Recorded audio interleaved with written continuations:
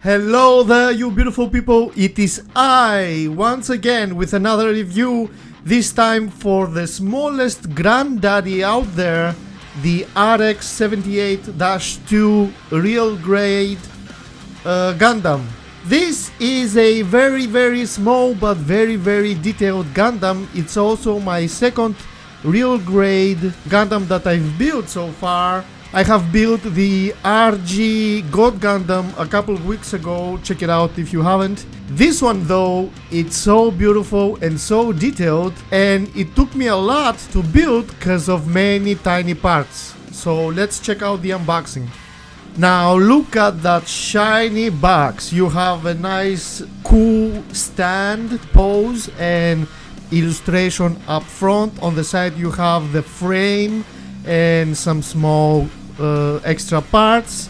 Nice illustration once again. You have some very cool poses that you can do. And this kit is very poseable I have to say. So let's check out what's inside. And up front we have the stickers which I used a couple of them but not all of them because stickers in this day and age it's not gonna do it so nice quality plastic. We have some yellows, blues, some whites, some blacks. Uh, we have a beautiful, beautiful two-tone white, by the way. And we have a nice detailed manual. You'll find inside some lore, some poses, all the details of the frames, uh, details of the runners. A really nice and detailed manual, I have to say, and there is some color in it.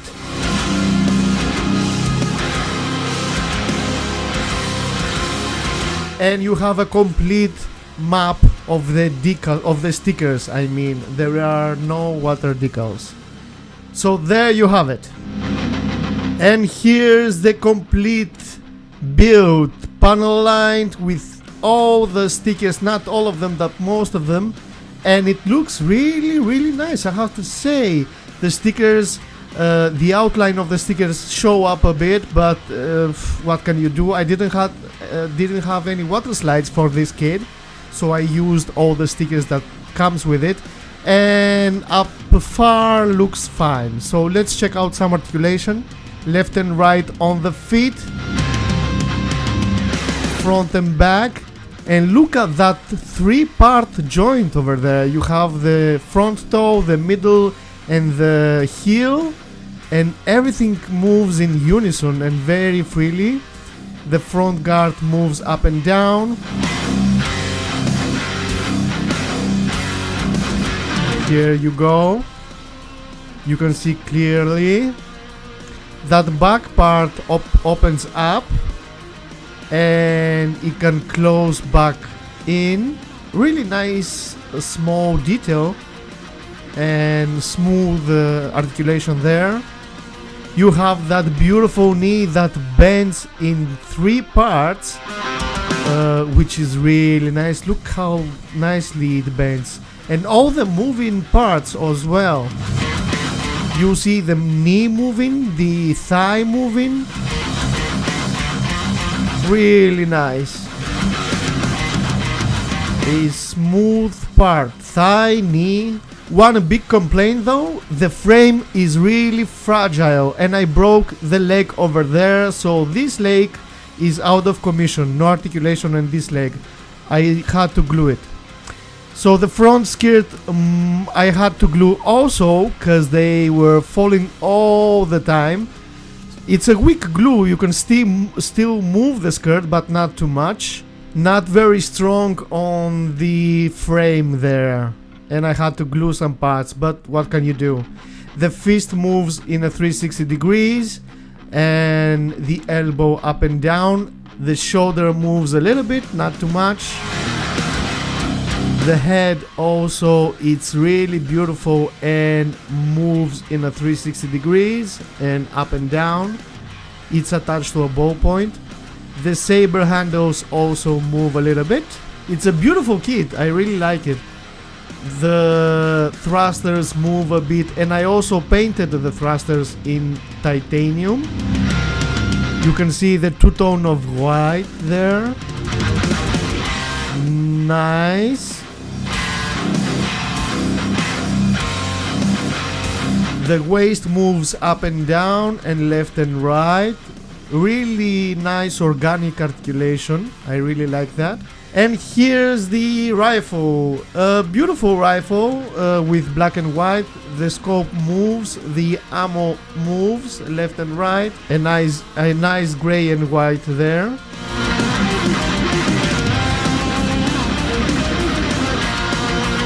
My favorite is the bazooka though. Look how beautiful the bazooka looks. With the ammo pack and that front part moves a little bit front and back. Really nice. I really like the ammo pack. I should have uh, painted a little bit red on the ammo. But it looks awesome. I really like the bazooka. Really beautiful weapon. And here's the core fighter. A nice detailed small core fighter with uh, some nice fins that uh, move a little bit. That front part can extend but it's stuck right now. The wings can fold. Look how beautiful that is and this whole part can go like that and you can use that on the waist of the kit if you want to but I'm not going to do that. It's a beautiful, beautiful core fighter, I have to say. It's really small though. But it's nice with the deco still. It's something. And not only that, but it also has some tiny landing gears. Look how cute they look. Overall, nice core fighter.